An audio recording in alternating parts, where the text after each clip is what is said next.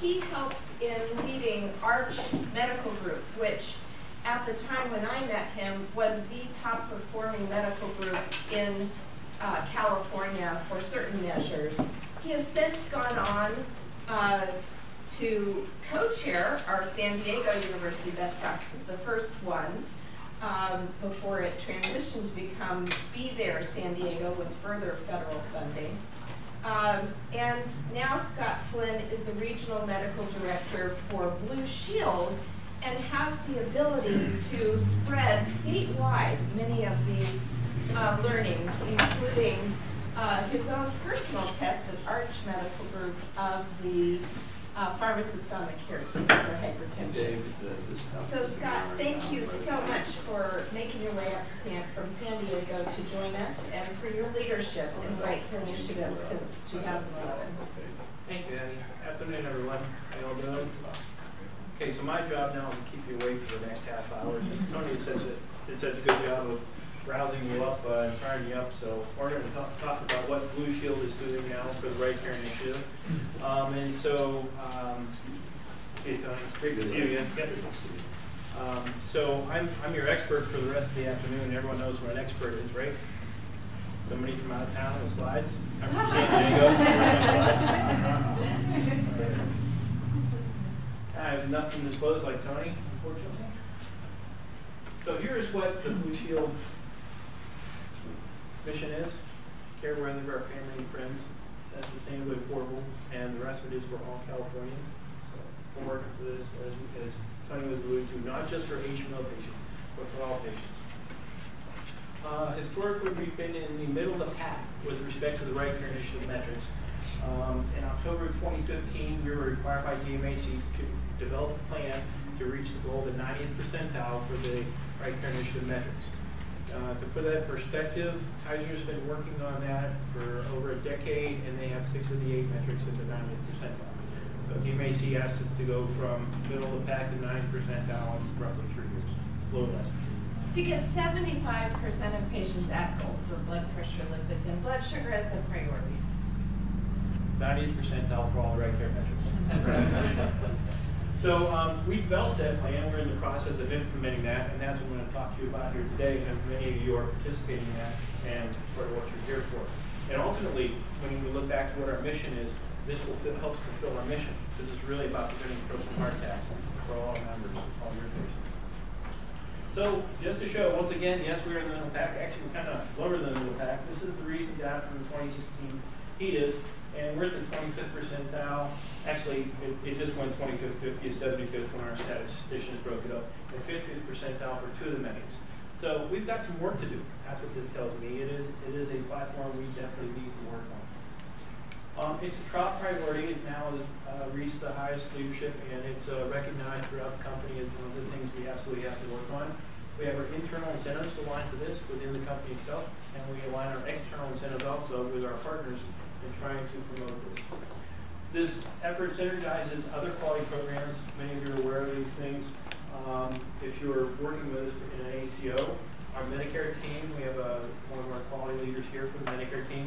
We're working on this also in Medicare. Remember, RCI metrics are on the HMO population, commercial population.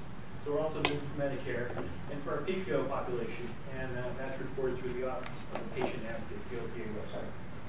Hypertension and diabetes care are a focus across all lines of business. Once again, not just HMO.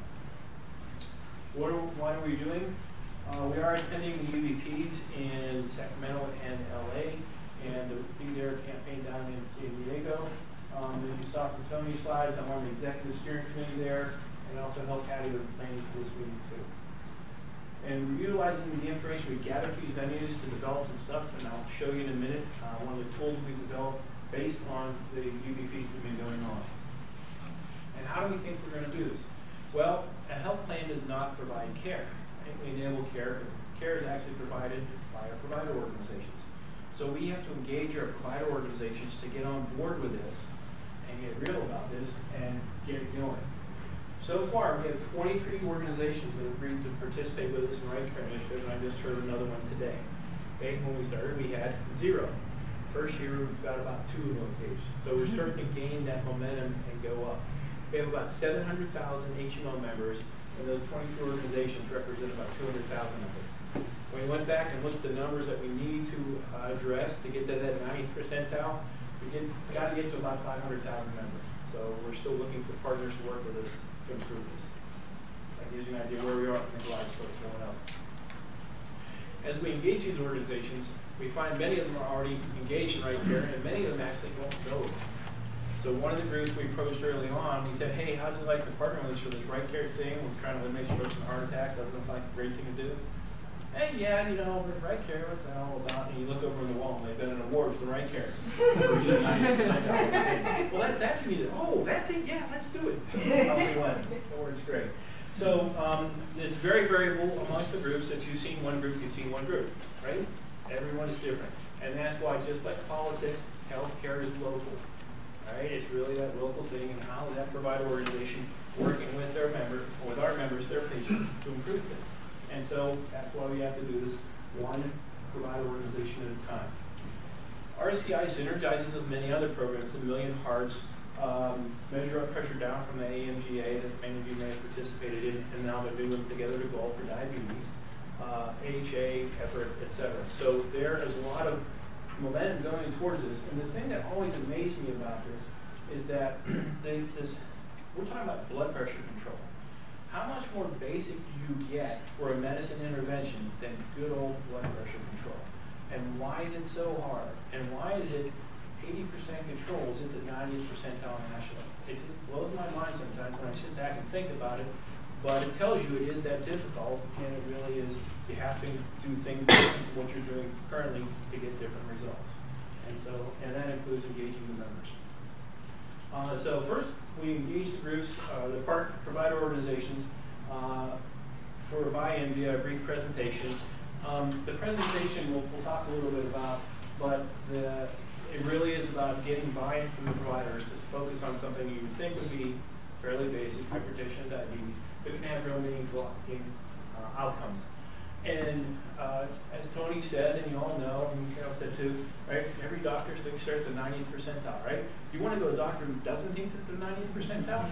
Probably not, right? But we can't all be at the 90th percentile by definition.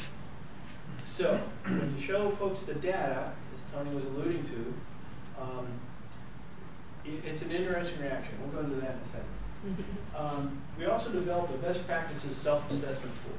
And this is something we use with our partner organizations to go through these best practices that we've gleaned from all this activity and give them resources to look at. And they do the self-assessment, see what was recommended, see what they're currently doing, and then develop an action plan after. So that's how we do it, and resources with it.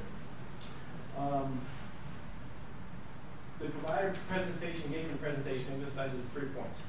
Um, one is that you can implement things, some of these things very easily and at low cost. Because everyone's worried about, oh, some new programs. What's the first thing the C-suite's going to ask? How much does it cost, right? Is there an ROI? Um, so some of these things are actually pretty easy to do, and you can leverage some things you're already doing. The second thing, hypertension control can have a meaningful impact in a fairly short time frame. And it's, uh, I'll show you the slide on that next. And you're probably not doing as well as you think you are. Everyone thinks they're to 90 percent but not so fast. This is the same slide Tony showed. This is actually, uh, as he said, it's from Archimedes, the predictive uh, modeling. This is actually Kaiser's data and what they used, right? And what it shows is that you can decrease death 17% right here. That's one in six of your high-risk members. What's a high-risk member? Somebody over 55 with hypertension. When you look at how that comes out, um, one in six in two years, you can reduce heart attacks, strokes, 17%. Okay, that gets people's attention. You don't realize how quickly you can do that. And what it is, it's with the bundle he was talking about, it's with the acetylazide, atorvastatin, and aspirin in there. So that's how you do that. Here's our best practices tool. This is a, an idea of what it looks like.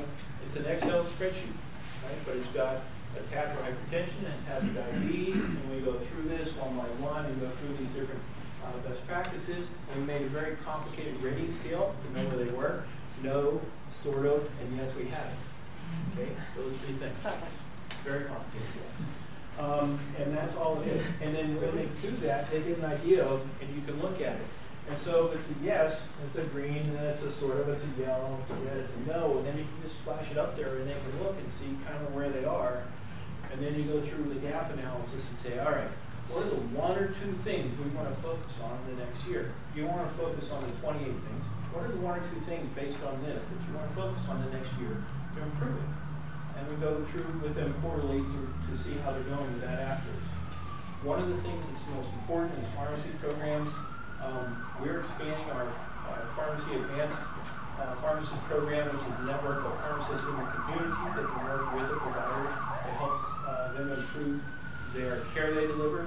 One of the first things that started all this back in the day was a 2007 NIH funded study at UCLA called the GO grant, not the GO um, that looked at delivery of hypertension care in private, in private practice in a regular doctor's office, and then add a pharmacist on there and see what happens. And the outcomes will dramatically improve by adding a pharmacist to the care team.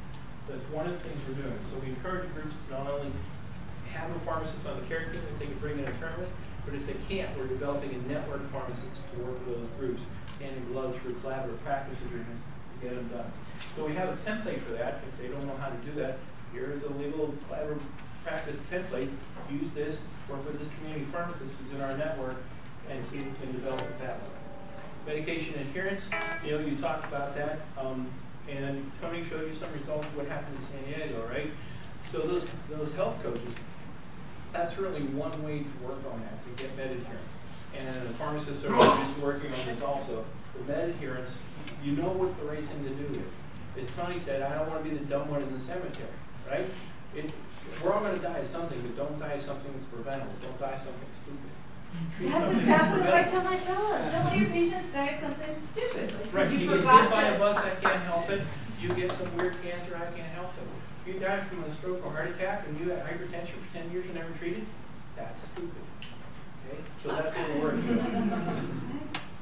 Uh, and we're funding pharmacists and pharmacy technician positions within our ACO partners. So we're really trying to, to leverage this stuff with the pharmacists. Uh, lean work, uh, we found that, and you saw some of the sheets that are on your desk there, there's some people that are with hypertension control of two percent or five percent. It is physically impossible to do that unless you're dramatically withholding care or the data is wrong.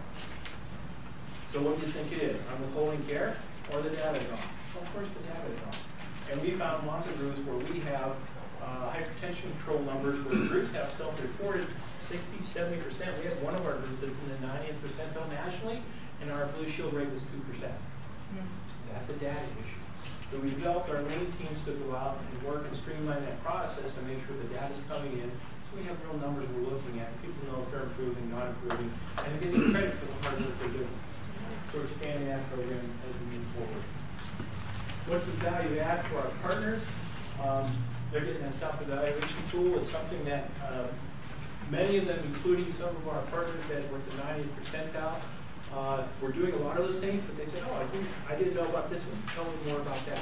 And so it's a really good tool for them to be able to look at themselves and figure out what, the, what they're doing and what they might want to do. Giving them clinical assistance with our quality expertise and our pharmacy partners that are going in and helping them cleaning up the data, right? Them good data. Uh, and then finally, financial outcomes, we're incentivizing our ACO partners through our quality programs. Uh, P4P is still going on and doing that.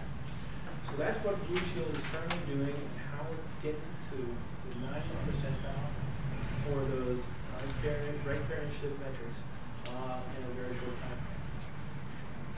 Where do we want to go? We're going to continue scaling. We've got 23 so far. Uh, we need to get a lot more involved with us, refine our approach.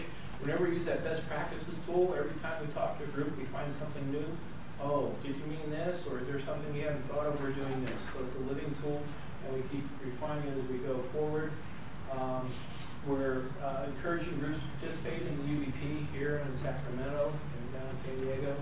And our goal is to reach a 90th percentile, and ultimately, again, the bottom line is to prevent those strokes and heart attacks.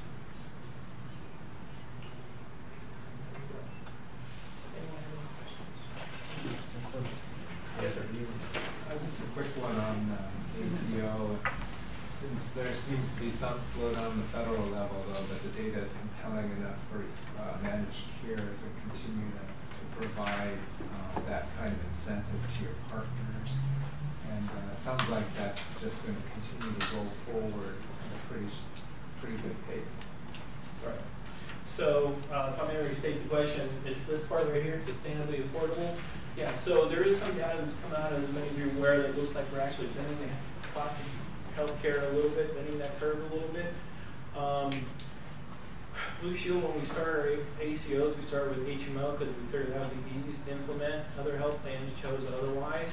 So we're now into the PPOs, and I think uh, Shelley said we're 19 now. that we currently have. That's mostly within this year. We started with two, I think, in the year.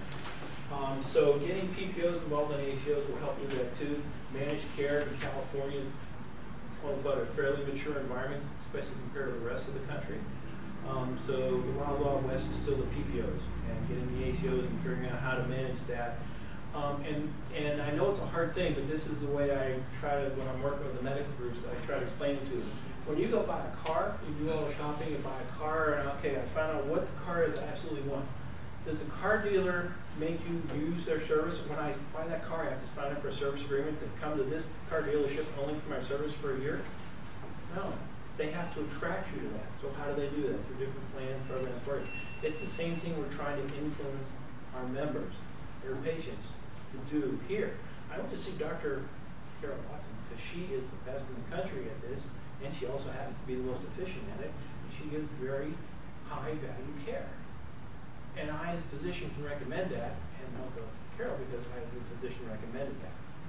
And she is. And that's how you can, quote help PPO patients get the best care and the highest value care. It's not like an HMO, you can say, here, if you go here, it's gonna, you know, it's out of the network and it costs you a bunch of, you're still PPO networks. But that's the idea behind PPO ACOs, to make it more affordable. Yes, sir.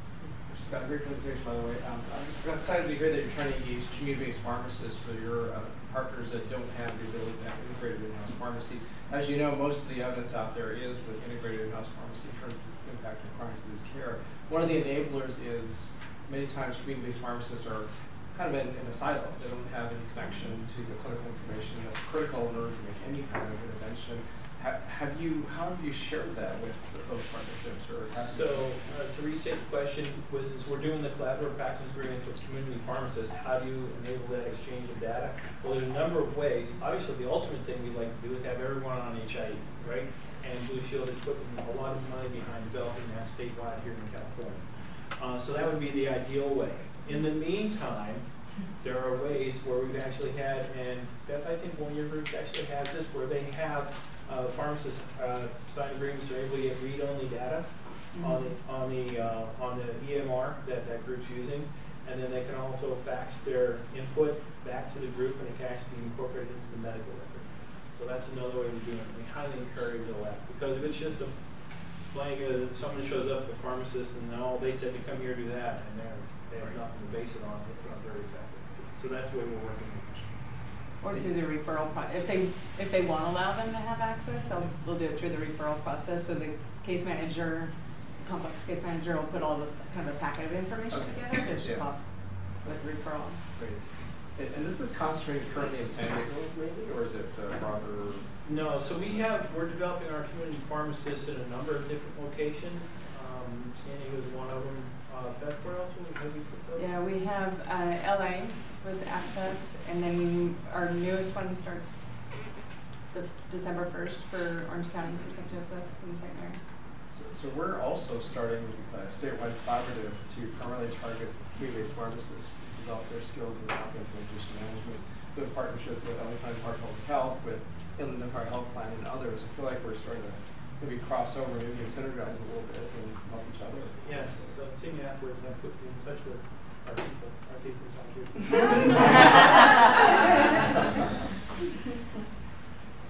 Other questions, comments? concerns? All right, thank you very much.